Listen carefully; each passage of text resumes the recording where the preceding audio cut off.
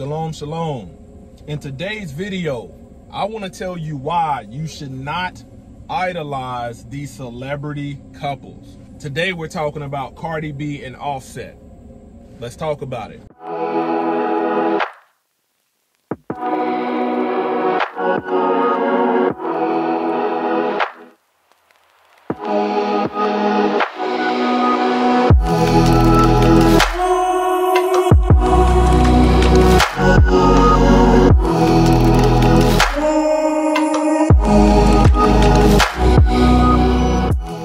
Praise to the Most High Yah Shalom. Thank you for tuning in to another Righteous Spiritful episode. Today I'm back at it in them trenches, handling that kingdom business.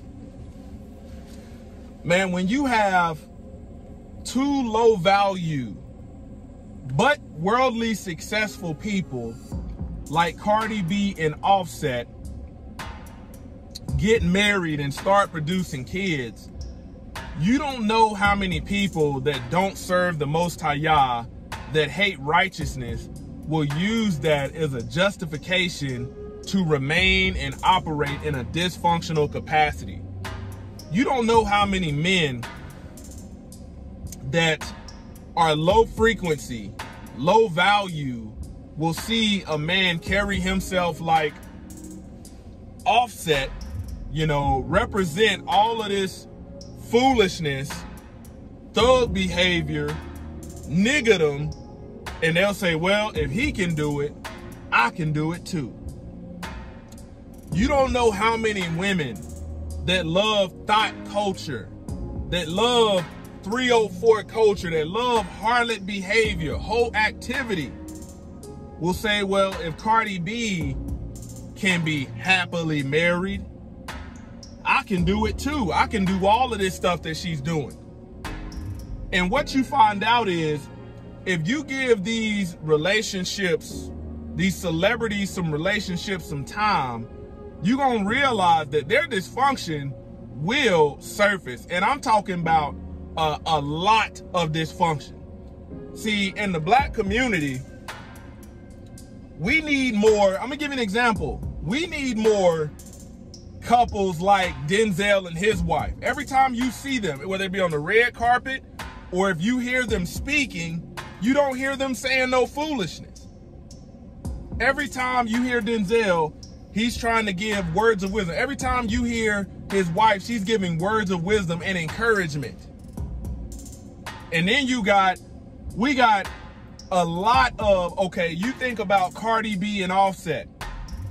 You think about Remy Ma and Papoose. Man, these people that love low frequency, you know, people that have had their success in the world, especially in our community, they idolize these people. You got women out there that think, okay, if Cardi B does it, I can respond and react like that and I'm to be okay. My marriage is to prosper. I tell you, man, you need to when you look at a lot of these anthems that have come about from men and women, when you look at some of the hit songs from the Migos, from Offset, from Cardi B, from Remy Ma, when you look at when you look at some of these anthems, they have made music that's counterproductive to the black family. And here you are fooling yourself thinking these people, thinking somebody like Cardi B is talking about all kind of harlot 304 activity, WAP. Here you are thinking that they can make music like that, but they are set apart women behind the scenes. They are highly valuable to the Most High Yah in marriage behind the scenes. You out of your damn mind. Sitting up there believing some mess like that. You gotta understand, when you hear Offset and the music he make about busting hoes down, about selling dope, flipping birds, man, you think that man living righteously behind the scenes? So if if Hasatan is already a part of these unions and you can tell, what makes you think there's not gonna be any fruit of the spirit coming out of these households? And the reason I'm talking about this is look at what's in the media right now that they have put out there they have released all of this nonsense. When you look at women like Cardi B, you think you're getting a, a, a virtuous woman? When you look at men like Offset, do you think you're getting a, a, a set apart, Yah fearing man? Hell no. You out of your mind. But our community loves idolizing these people to justify their dysfunction, to justify their bad behavior. And they do this so they don't have to get washed with the word. They do this in order not to be delivered. I feel bad. I feel bad for those kids, you know, that, that that's growing like I would you don't even understand what based upon their kids, how you think their their little girl is gonna grow up? She's gonna grow up dysfunctional.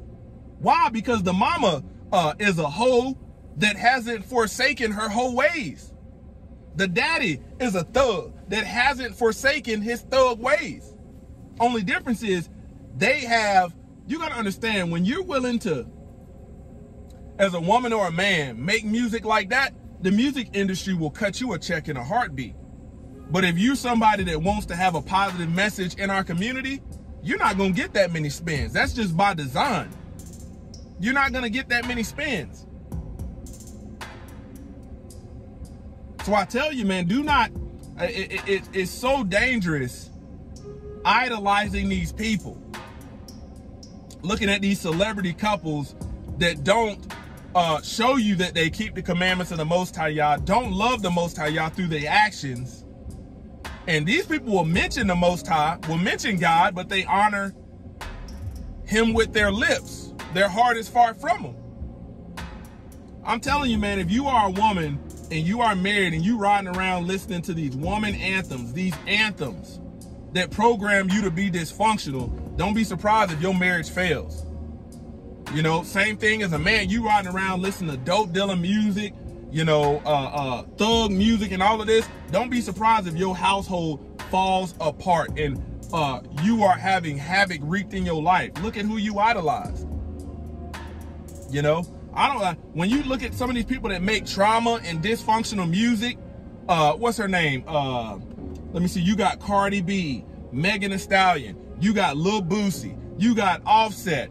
Uh, you got the Migos. Uh, you got Remy Ma. You got uh, Summer Wall. Ain't nobody, ain't nobody need to be listening to that mess in marriage, unless you want your house to fall apart.